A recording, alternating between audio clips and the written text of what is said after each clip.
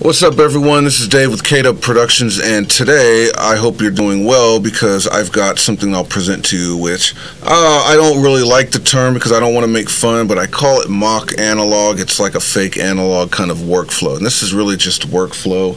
Yeah, the sound is kind of sort of implied there too, but just hear me out, okay, before you go crazy on me. So what I'm doing here is uh, I've got a control surface, right? The Icon QCon Pro X plus the extender. I've got a Mackie C4, which is just basically some endless rotaries with some displays, right?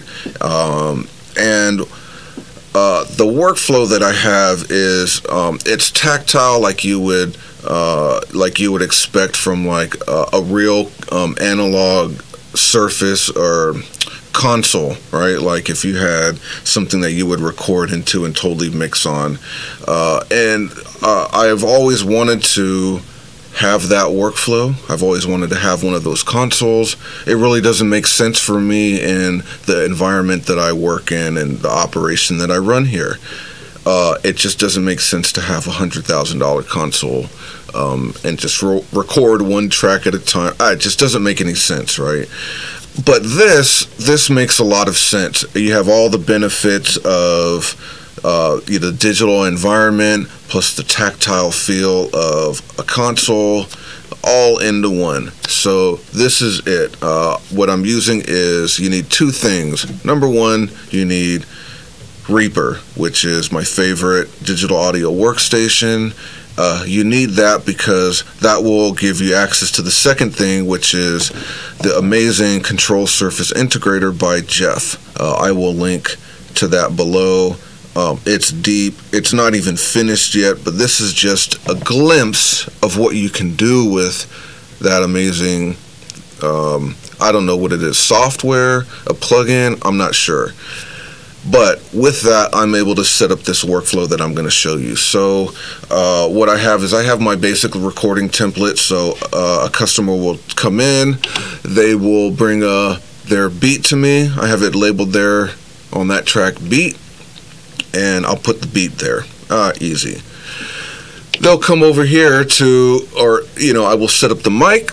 They'll start performing into this track. And this track now has uh, if we come over here, it's got my input, it's got the mic. I can select the mic because I'm using the Slate Digital Virtual Microphone System, which is also amazing. I'm not here to review that, but it is pretty darn spectacular. Uh, and then I've got my uh, preamp drive after that, and then I've got an output. I've got my EQ, just basically a high, a mid, a low, which is all I should need for that, right? High, mid, and a low. Then I've got a compressor, and then I've got my output drive. And I've got that for any track. So typically, uh, they'll perform a track. I will, uh, you know, they'll perform a track like this. I'll basically duplicate that. They'll perform another track. Excuse me. I'll duplicate that they'll perform again and so on. And so the settings will kind of transfer down for all of these and i'll be you know kind of trying to shape the sound as they're performing all right? Pretty sweet deal. Okay so after you know recording several of the of these i will start arranging them and i may have them uh, in several different folders so for the folders, I will have a different set of processing, right? Another EQ, a different one, but the same, you know, the same thing, a high, a mid, and a low, right? To just shape, you know, quickly start shaping the sound. I'll have some saturation, a compressor kind of in the same place, the output drive in the same place, and then I threw another EQ in there that sometimes I'll use if I really, you know, if I just really need something extra, I have that EQ. And I have specific plugins for the specific things, right? And that's really the point of this whole scenario is I'm not using I'm not mapping the entire plugin, you know, to go through each individual thing. This is really to go through and start shaping sounds really quickly. As I start having a bunch of these, right, uh, I can quickly just start going through start shaping the sound, right? Maybe the background vocals, I'll do that, pan things, and what you're seeing is I'm able to start uh, mix with two hands. You know, select a track, turn on the reverb, crank it up, blah blah blah. It just all works really quickly. So. Um, I, I, like this workflow. Uh, you know, you really have to take the time to map everything out, but once you do, uh, it really works out. For me, it works out really well.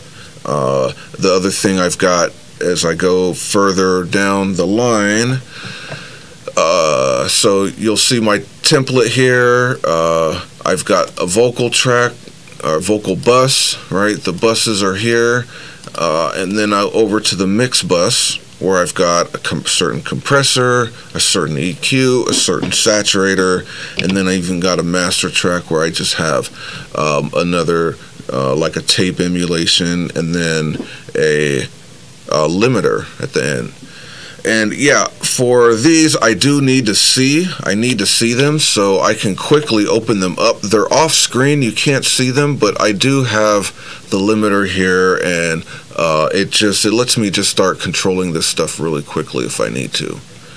Um, I didn't bring any music in here because I, am not really trying to mix anything. Maybe I'll do that another time, but it's really hard to set up uh, set up enough of a uh, the right views to really mix and see what I'm doing, uh, but I will try it one of these days. All right, and uh, yeah, you see that clipping there because uh, sometimes I mess up and I have to clap. I'll clap to give myself a point. Uh, I'll anyway. For those of you who edit edit videos, you know what I'm saying. Uh, so I think that's all I really wanted to present here for this um, for this video. Uh, you know, if you have any questions on how how I set this up, I'm happy to answer them. Uh, it's not easy, uh, but if you put some forethought into it, it can be done. Uh, you definitely don't need these particular controllers. You can use anything with some endless uh, encoders.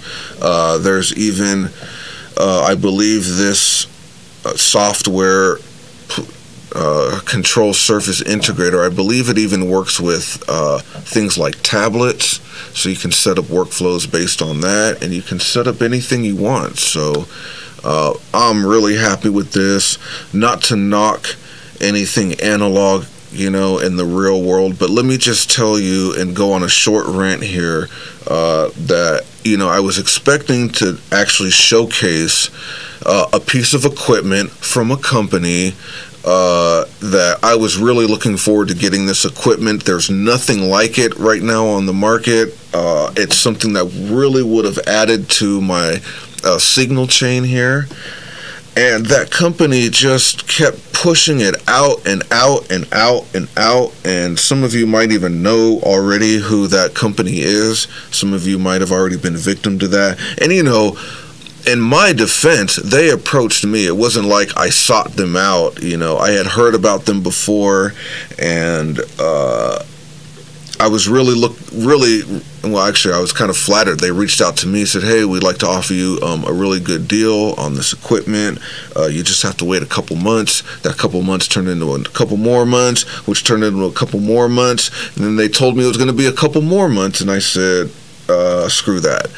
And that is kind of one of the problems with analog equipment is that uh, if it breaks, right? If and when it breaks, um, it's going to be it's hard to get it repaired. Some of that stuff needs some maintenance, right? And uh, some of that stuff, if it's really vintage, uh, it's irreplaceable, and uh, that's a problem. And so uh, that happened, and I kind of went 180 degrees. I bought the Slate Digital virtual microphone system. I'm already using some uh, other plugins but my point is, I've kind of gone entirely in the box, almost even sort of kind of with the actual input chain, uh, which is kind of crazy. Uh, but uh, I like the sound. Now I'm only recording vocals, so maybe that makes sense for me. That might not. That might not make sense for you, um, but it is. It has really I think it, I've stepped my game up. So uh, I'm liking the sound. Uh, you'll see some stuff that I will release um, in the real world, and uh, that you can judge judge for yourself. All right. Uh, that's it for this video. Thanks again for watching. Please like and subscribe. I appreciate all of you that do that and that will do that. And uh, look forward to showing you some more stuff. All right. Peace.